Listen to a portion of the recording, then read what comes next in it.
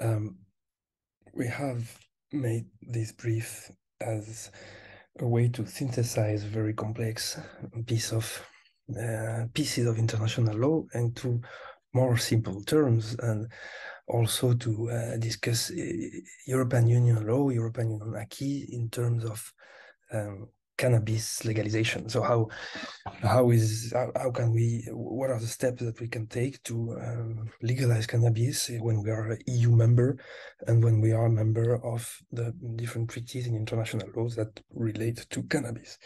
So that's what we discuss in the brief and that what, what I'm going to briefly briefly present the brief uh, today.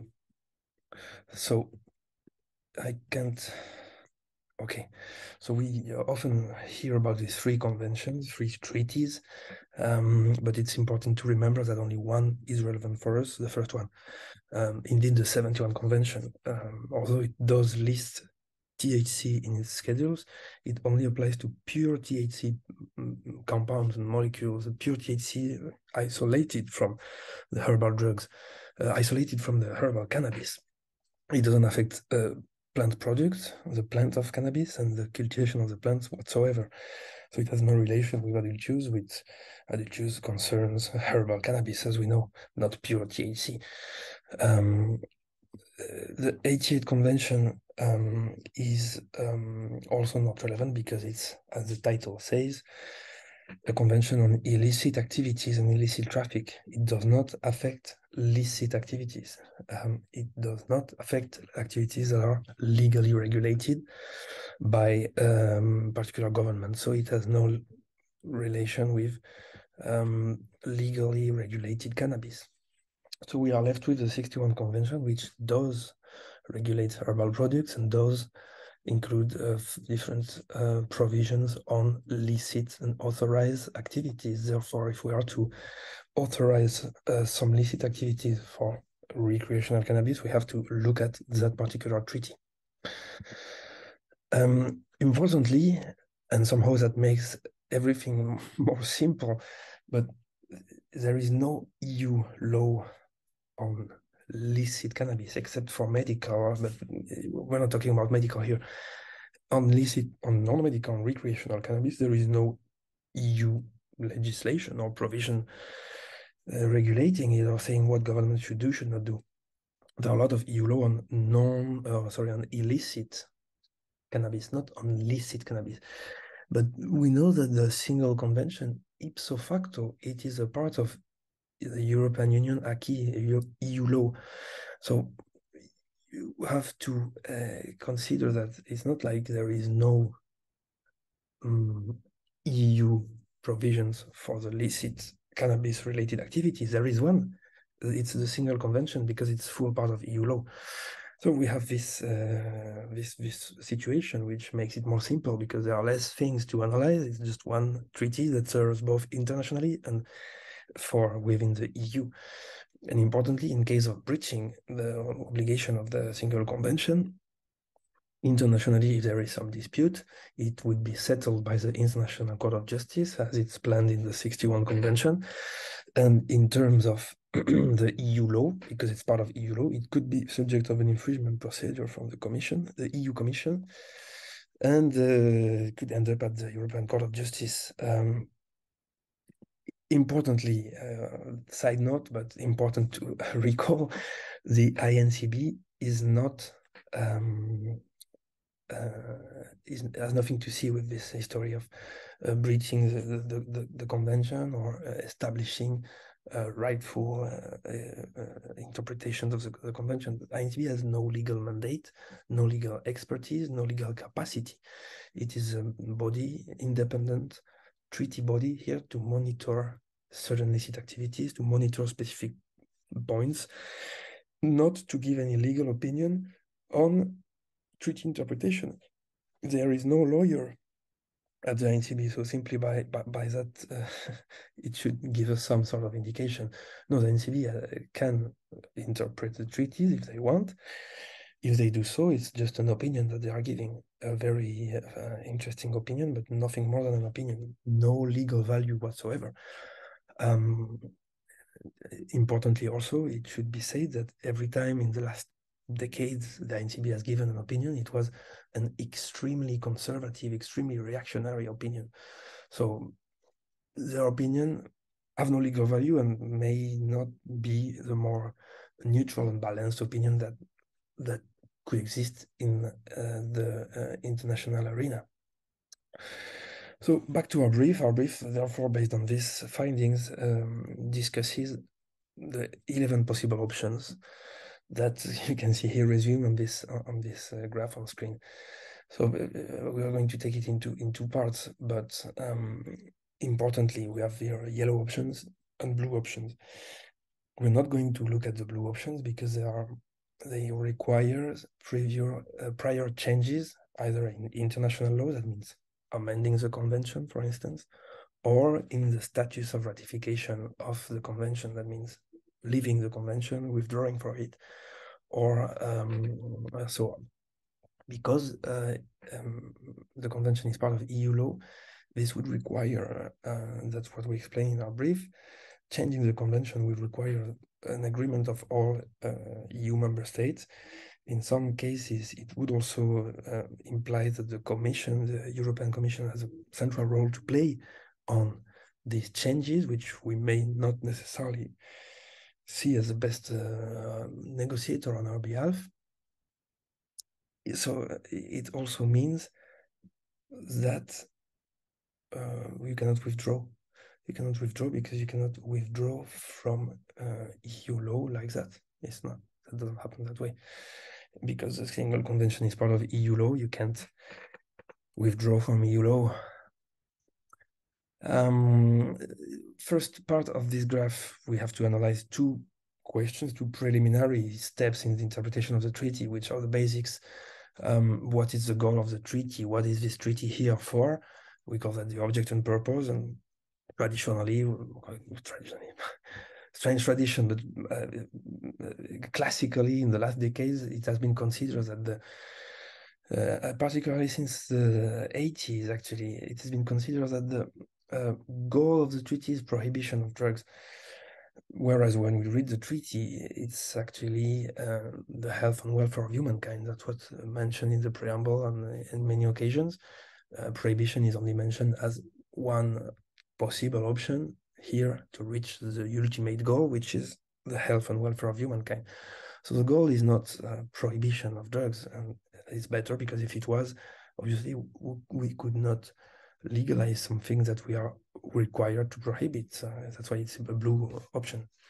So we have to go for the, and it makes sense, uh, common sense, to go for what is written in the treaty, which is the fact that the goal of the convention is to protect the health and welfare of humankind. This uh, gives us a first legal obligation that is that we have to reflect in our national legalization bill um, this goal, the goal of the bill must be also uh, to protect the health and welfare of humankind. And then we have the second question, which is what is abuse? How do we consider uh, the term abuse in the convention? Because it's not defined in the convention, but it's used extensively, and there is an obligation to fight against abuse. So if we consider that abuse is recreational use, like some people do, obviously, uh, um, we have an obligation to fight against it, so we can't legalize it. If we consider that abuse is uh, rather uh, something like dependence or specific uh, harmful uses or substance use disorder, as we call it today, uh, then we, we can actually legalize cannabis because uh, there is no obligation to fight any recreational use, but just an obligation to fight substance use disorder, which also makes sense in terms of coherence with protecting the health and welfare of humankind. And that gives us a second obligation. We need to um, include harm reduction and prevention of substance use disorder uh, as measures within the bill for legalization. Uh, once we have established this, we, we, we, continue to the different options. So as we say, we forget about the blue options. Uh, let's go just with the yellow options. And we are left with two two options basically. So as I say, it looks complex, but if you consider that being an EU member state, you cannot really go for the blue option except on the long time frame. If you want to legalize without waiting 10 years, you have to go for these two remaining options, which are either a scientific experiment that is framed under the concept of medical and scientific purposes uh, in the convention, or um, the Article 2, Paragraph 9 option, the non-medical industry option, which is framed in the convention as sometimes it's non-medical, sometimes it's other than medical and scientific purposes, which is a synonym in the convention. That's the non-medical industry option. So these are the two options that can be uh, uh resumed in that graph. It's, say this circle represents any possible use that you can make of cannabis or for that purpose, any other drug in Schedule 1 of the convention, but here we talk about um, just cannabis. Obviously, so we have abuse that we consider as only part of the use that is substance use disorder, that are these uses that are uh, concerning in terms of health for the user, but that's not all. And then what? So we have to fight against that. We have to try to let's imagine reduce this triangle because we have to reduce the extent of abuse. Uh, we have to um, prevent it and, and so on. But then we have medical and scientific purposes and non-medical purposes, other than medical and scientific purposes. Um, here is where we usually uh, frame, we place hemp what we call hemp in that category. So hemp is mm, the use of some products of the fiber, the seed, or the leaves, the roots, or the buds of um, some cannabis plants. Usually products that do not have this uh, mind-altering effects.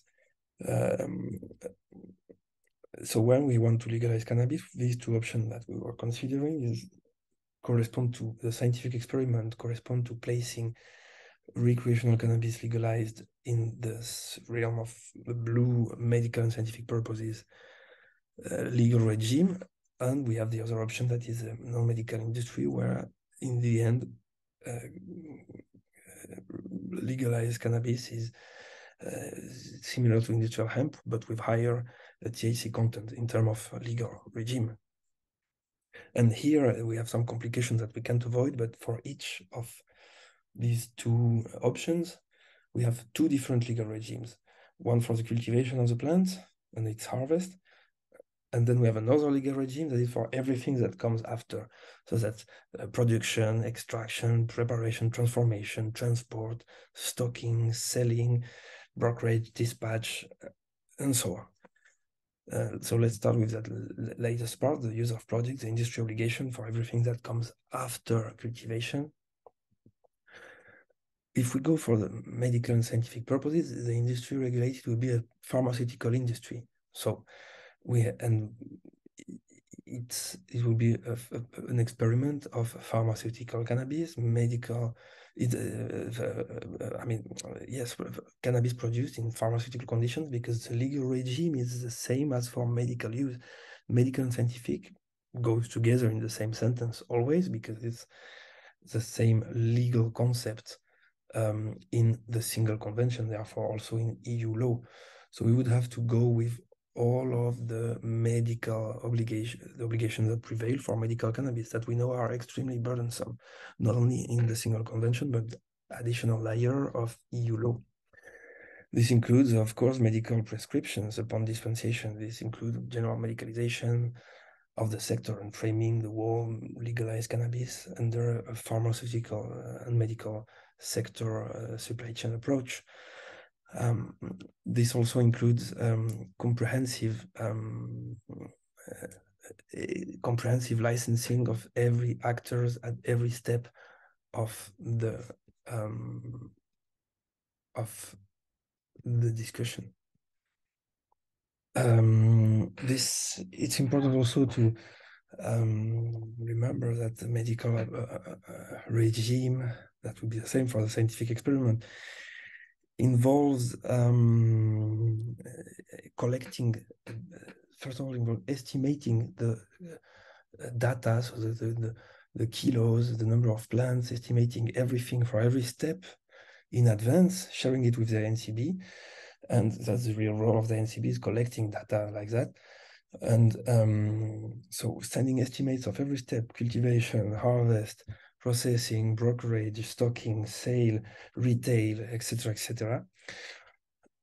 sending that to NCB, and then at the end of the year, collecting the final data and comparing if we had estimated properly or not, as with the final data and so on and so forth. And um, that could be eventually uh, in the hand of the NCB to address the possible discrepancy between estimates and reported data. So it's, it's extremely burdensome. And we don't have any of this for the non-medical industry approach, where Article 2, Paragraph 9 only requires First, an additional set of harm reduction measures. Countries have to apply any means that are in their power to reduce the extent of uh, abuse and to reduce harms from cannabis. So it's a strong incentive to harm reduction. And uh, B, they have to report to NCB, but contrary to the scientific experiment where everything has to be reported and estimated in advance, here we don't have estimates. We just need to report at the end of the year, and we report just one figure, which is the retail at the end of the at the end of the the, the, the supply chain. So it's much, much, much more lighter for the government that doesn't have to implement a full bureaucratic monster of administration to handle the the the figure of the figures and obviously the other obligation of harm reduction is is is common sense and and very useful and then we have, the, as I said, the other regime for uh, the cultivation of the plant. And here, same thing for medical and scientific purposes. We have just like for um, medical use, extremely burdensome um, uh, set of regulation of obligations for countries that are repercuted for extremely burdensome system for farmers, just like for the cultivation of medical cannabis, which, as we know, is not the most um, light uh, set of regulation generally, and that's imposed by the treaty, by these obligations. Uh, whereas again, for non-medical cultivation, non-medical industry cultivation, uh, Article 28, paragraph 2, uh, exempt comprehensively the cultivation from any obligation. So there is no obligation at all. It's just like hemp there is no obligation to report anything, to license anything.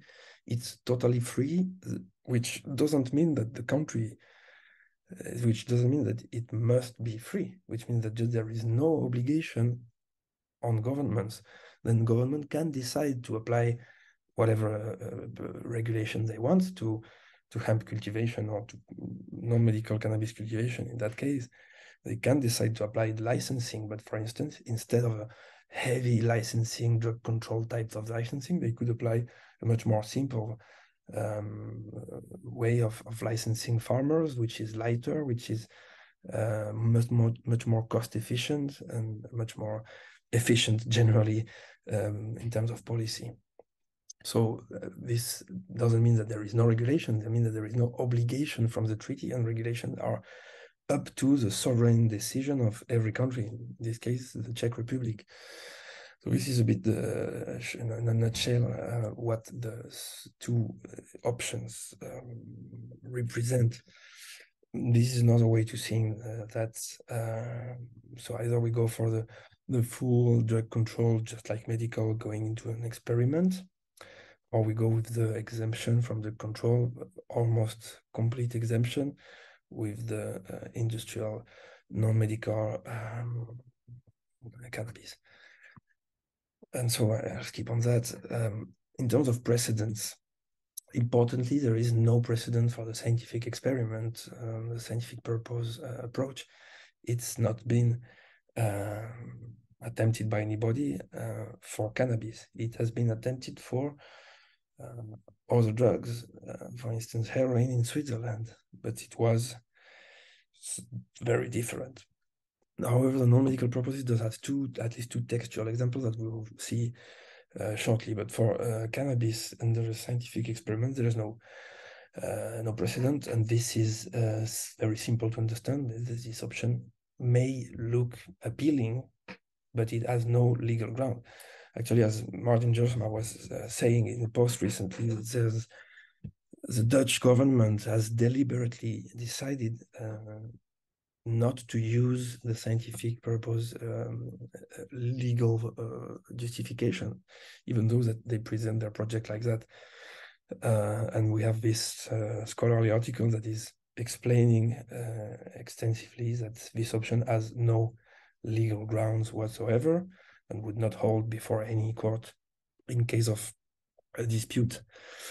We also, in the brief, analyze that and we, we conclude in addition that uh, besides all of this uh, system that is unfit for non-medical use, that will probably uh, generate insatisfaction among the, the core, the key people uh, to which the reform is addressed, the people who use cannabis, that would have to, for instance, still be prescribed the cannabis and so on.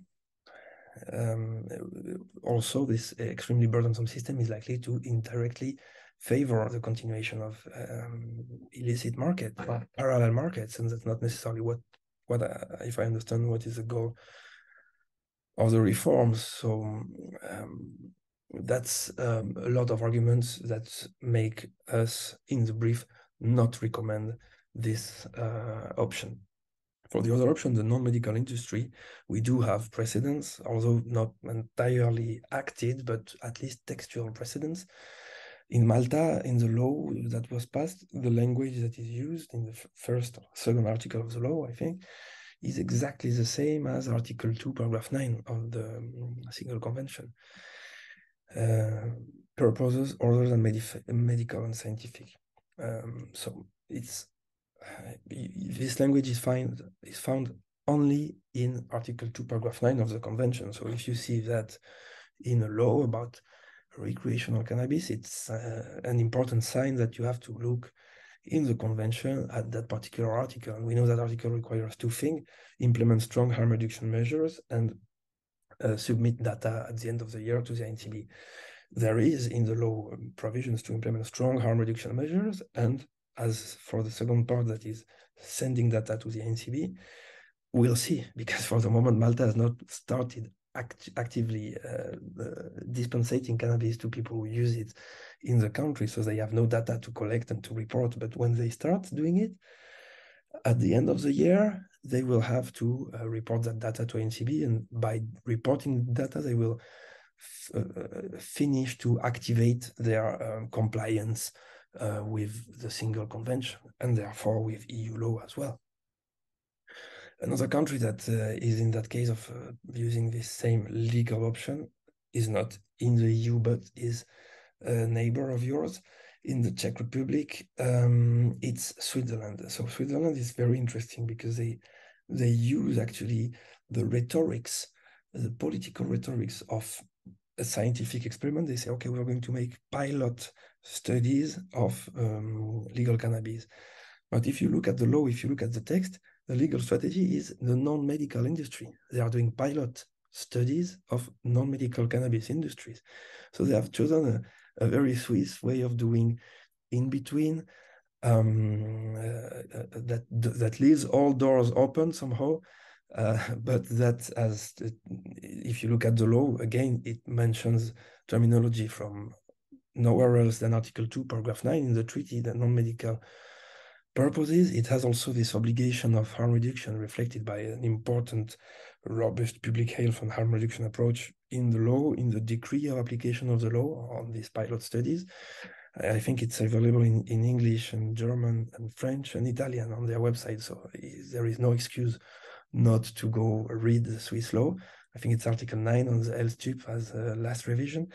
And if you um, look at what are the uh, what are the, the, specific regulations, the condition of the law, there is no uh, prescription required, no licensing of cultivation, no pharmaceutical rule, no embed into any sort of medical system, which are all requirements for the scientific experiment. So that means that either they go for a scientific purpose way and they are totally in violation of the convention, or actually they are going for the Article 2, Paragraph 9 non-medical industry, and therefore, at least textually in the law, so far it's compliant. Um, again, it's just like Malta. They are start, they will start soon, or they have started, I'm not sure, but cannabis will be dispensated this year in Switzerland in some pilot projects. And by the end of the year, with the data that Switzerland has collected, um, they may be able to submit it to the NCB. And once they have done that, that's well explained in the commentary. they will have activated um, their compliance with the full exemption of the narcotics regime for uh, non-medical cannabis. So uh, again, Switzerland, very good uh, approach, very good uh, strategy, legally going for the non-medical industry under the terms of Article 2, Paragraph 9, but politically, in terms of geopolitics, in terms of uh, communication, going for presenting that as a pilot study. And actually, these are pilot studies if you read the law, but they go for the non-medical industry option legally, and then they establish the scientific experiment solely on the terms of Swiss law. It's uh, under the framework of the exemption for non-medical industry that they establish the experiment, not under the framework of scientific experiment in the convention. And that's very different, and that's very, very interesting as a strategy to move forward, I believe.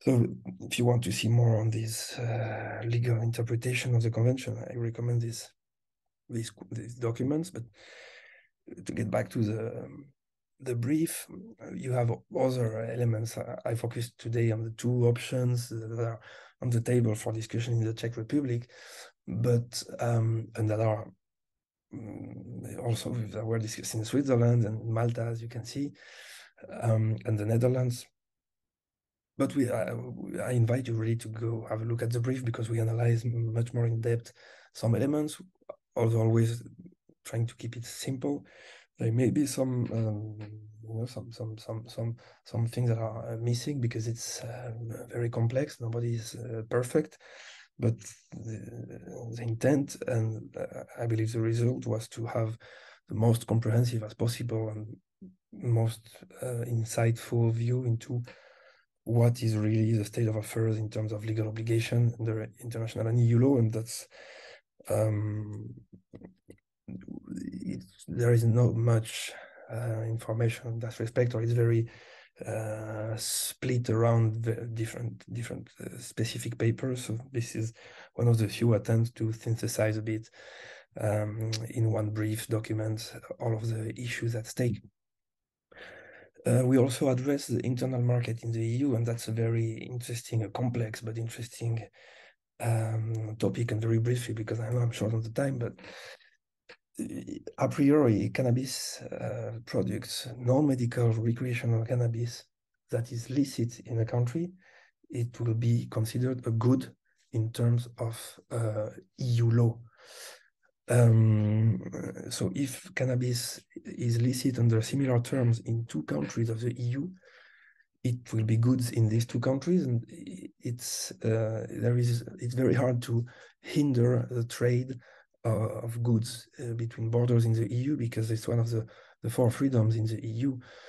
So a priori, uh, it's not what is often presented, eh, but a priori, uh, cross-border trade within the EU, within countries that have legalized under similar terms and that both agree to that uh, cross-border trade, uh, that uh, such trade uh, would be possible without without problem.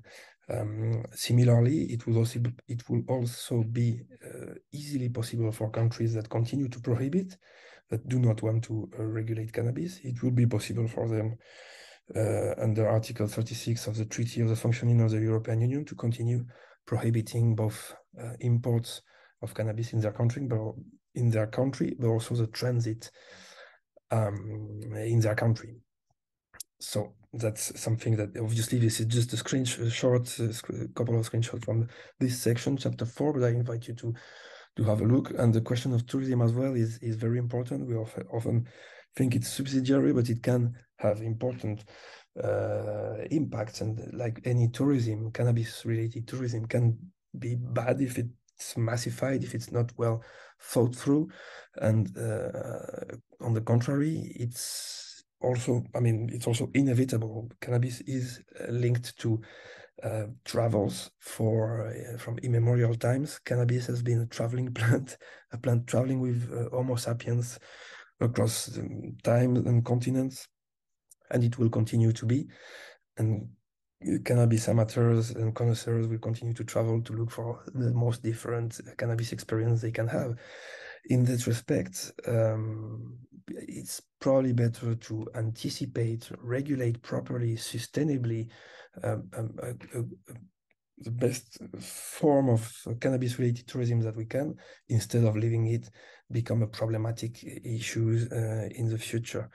Um, so that's all. I really invite you to get a look uh, at the report if you want to uh, to learn more. I'm happy to uh, hear your feedback. You can contact me here on on this uh, link. Uh, there is a contact form, and um, I wish you very good discussions and all of the best for your legalization. Thank you.